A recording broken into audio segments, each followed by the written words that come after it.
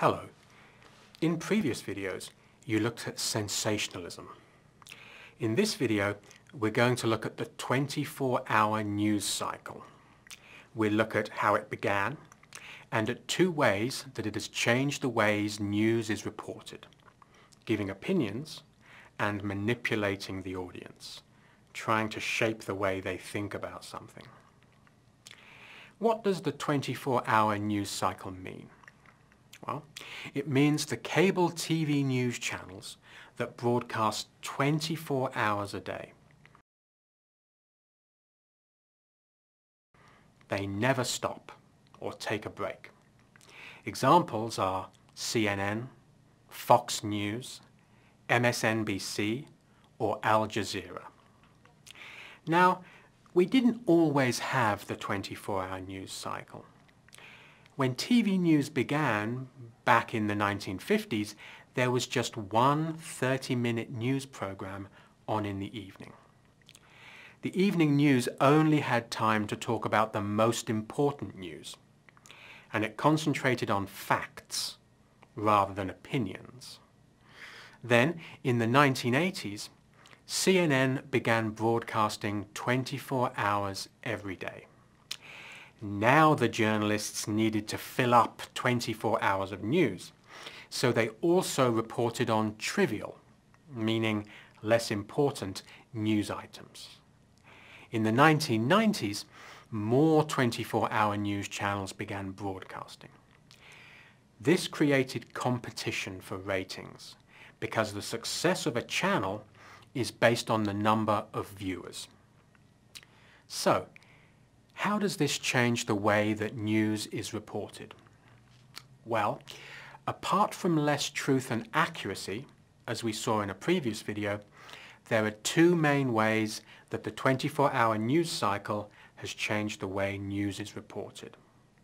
One, an increase in giving opinions, and two, the manipulation of the audience. Let's look at the increase in giving opinions. As we mentioned earlier, the change to 24-hour news resulted in a lot more time to fill.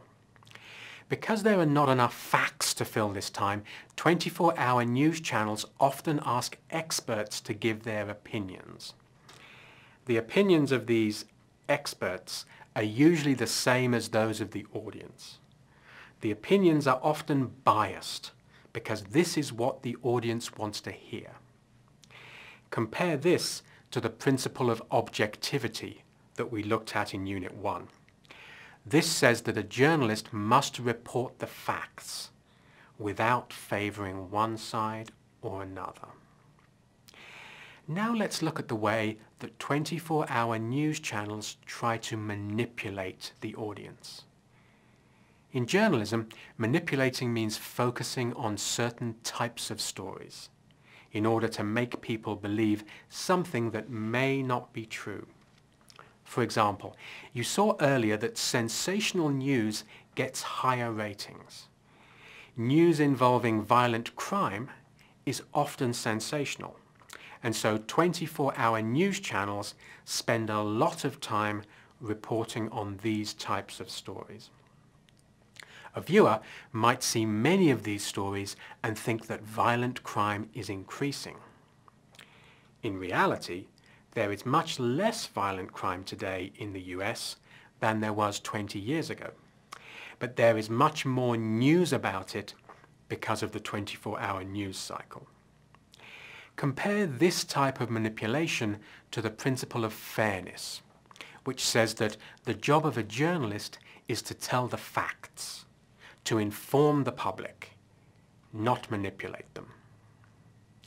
So, in this video, we looked at the origins of the 24-hour news cycle and how this leads to an increase in giving opinions and manipulating the audience.